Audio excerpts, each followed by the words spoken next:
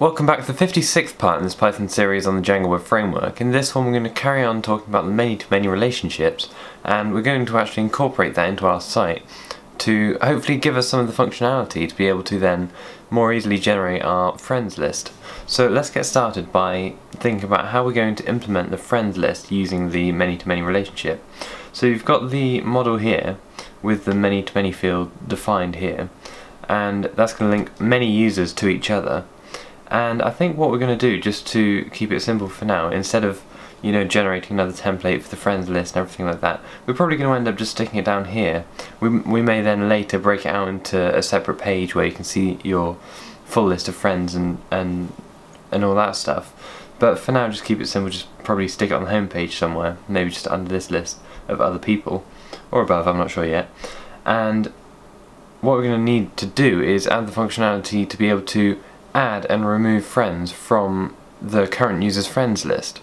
So what we could do is create maybe a view and when they press a button they could go to that view which is essentially a URL that they would go to and connect with a friend we could then redirect them to uh, the, the home page again and that would give us uh, the ability to uh, execute some code based on uh, when they've clicked a for example add friend button. Now I think what a, a, good way of sort of implementing the logic would be is instead of having that logic directly in the view is to relate it to the friend itself because making and removing friend is going to be very specific to this friend model that we've defined. It's the only model that's going to need to use that functionality. So instead what I want to do is create what's called a class method. So to do this uh, make friend method I'm going to do at class method and I can explain this decorator in a bit if you're not familiar with uh, the different types of methods in Python. But what I'm going to do for now is just treat it like a normal method. So I'm going to say make friend, and the first parameter of this method, because it's a class method rather than instance method, which is uh, normally what you'd be used to, which is a, a method without this decorator, uh, we're going to say class, because it's going to pass the reference to the class itself rather than an instance of that class. By convention we normally use self for an instance and CLS for a, a class. So now that I've got that, if we think about the actual parameters that I want to pass in, I want to connect two different people uh, together so that they have some sort of relationship that we can use. Now, each person is going to be a user, so I want to pass in two different users that I want to connect with each other. Now, one of them is going to be the currently logged in user, so we can pretty much assume that. So let's say that's the first parameter, so current uh, user. And then we can also have uh, new friend. So they're the two things that we want to connect with each other, and uh, they're both going to be user instances. Now that I've done that, we can do, uh, let's say, friend, so create a new friend instance here. I'm going to use the get or create method. So the get or create method returns uh, not only the object itself, but also whether it's created or not. So I'm going to say get uh, get or create. So let's do class.objects.get or create. So we know that this is always going to return an instance of friend, no matter whether it's been uh, just read from the database already because it already existed, or whether we've actually had to create a new one for this particular user. Now that I've done that, we can do uh, current user. So I think what I want to do here is I want to check uh, whether the object, the friend object that we're trying to, to get, already has the current user as the sort of owner of that friends list. But we don't really have any way of determining that at the moment. I think what the best thing to do in this situation is probably to add another field to the model. So I'm going to say uh, current user. This is sort of like the uh, owner of the friends list, so the person who is currently logged in to see their particular friends. So that's just going to be a reference to user again, so that's going to be models.foreign key field because we don't need that many-to-many -many relationship here. And Django is going to complain if we don't specify a related name, so I'm going to do that as well. I'll explain this in a second. So related name equals uh, owner, so for owner of the friends list. Now, a related name, if you're not familiar, is if you define a model that has one of these uh, relationships in it, then it's going to automatically give that a, re a related name so that you can refer to it uh, almost in reverse. So if we're connected to the user model, you'd be able to refer to it using its related name through that user model. Uh, but by default, the related name would be something like related name is equal to friend underscore, oh sorry, this is a string, so uh, friend underscore set. Now, this is generated by friend, which is the lowercase version of the class name, uh, and then it's added set on the end here. Now, that's fine until you want to have two of these relationships, because what Django doesn't like is if you have two related names. So that's not acceptable in Django, so you have to have a different name for one of them. Now we don't have to assign both, we can leave that off if we want, but that's the reason I'm uh, specifying a different related name here. Now that I've done that, I can say if current user, so when we're checking for the object, is equal to the current user passed in, so remember we're going to pass in the currently logged in user and the user instance with which they want to connect. So that's going to be our sort of creation of the friend object, if it's created, or potentially already read from the database. But either way, this friend variable is going to have in it the object friend that we need to use. So now that I've done that, I can simply add the friend. So let's do friend dot users, so using this current uh, many to many field up here, dot add, and then I'm going to just say new friend. So the current user here is the one that owns the friends list, or uh, when a user is logged in, it's going to be that user, and the users is going to be all the other ones that they are friends with. Now, since we already have the current user stored in this one, we don't have to then add them to users as well. Because what I could do is do current user here as well. But all that would achieve is storing the user twice, once in current user and once in users as essentially a friend of themselves, which, I mean, it's possible, you're not going to break anything, but there's really no point in doing that because we've just stored the data twice.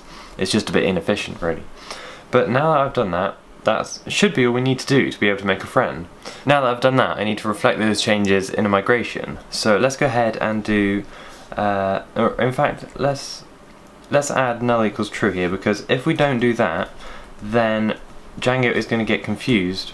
Oh, sorry, null is equal to true.